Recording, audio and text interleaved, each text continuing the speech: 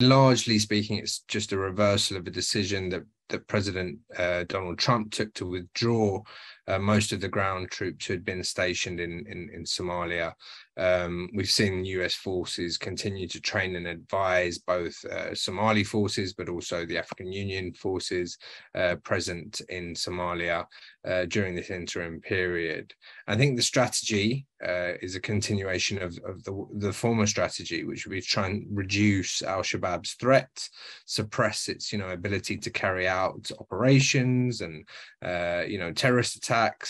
target its senior leadership. And we've seen this uh, with some, but mostly limited success for, for over 15 years. Um,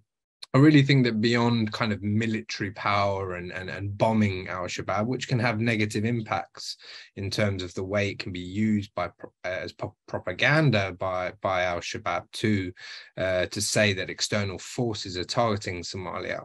um, that, that really there is a more nuanced approach that requires effect, more effective diplomatic effort, uh, more consistent political uh, approach by by both the Somali government and and its international allies, including the US. Uh, and I think on that front, we're seeing a much more nuanced perhaps take from the federal government. Uh, and instead of them talking about defeating Al Shabaab militarily, I think there's more of a recognition that